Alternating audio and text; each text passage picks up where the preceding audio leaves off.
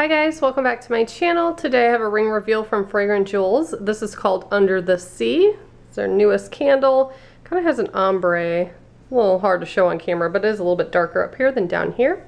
But I just wanted to show it to you real quick. I'm going to burn it and show you what piece of jewelry I find inside. All right, I think this one's ready because it's been on the warmer for quite a while. But with the darker wax, it's hard to tell. So, I'm just gonna try to pry it off the back wall here.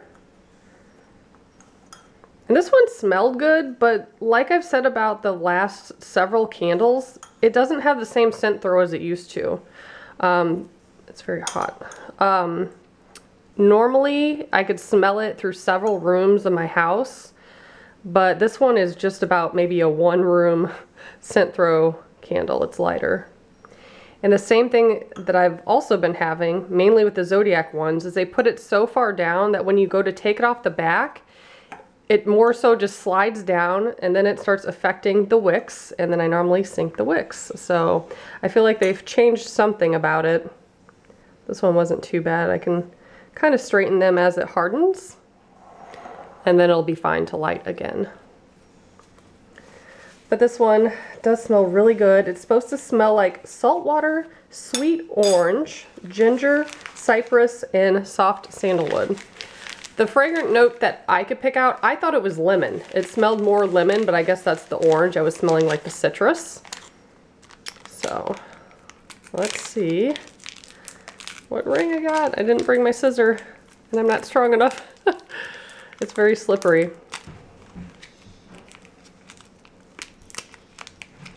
Okay, I'm gonna cut it this way because I think the jewelry, yeah, I don't want to cut it. you could come in here, Raylan. Okay. She knows she's supposed to be quiet, so she's going shh in the background. You want to come up on the chair and look at the ring? Yeah. So we have what a gold code. What gold? And I got one of the, oh my goodness, hold on. There we go. What color is it? Well, it's kind of plain. I thought some of the other ones were more colorful. Oh, okay, it's dolphins. That's kind of uh, cute. I'll wear it too. You want to wear it? Yeah, Okay, it's not really focusing for the camera. We're going to go ahead and enter that code and then we'll be back to show you a better view. Okay, so this one appraised for $25, 25 reward points. And I was hoping to get one of the rings with like the stone or, you know, different colors in it. But this one is all silver. It does have some diamond-like stones and has two little dolphins. Still pretty cute. This one did come with a card as well, but um, Raylan drew all over it. I'll still show it to you anyways. So on the front just says Under the Sea, and then on the back it has all the rings. She was trying to, I think, check off the boxes and then got crazy.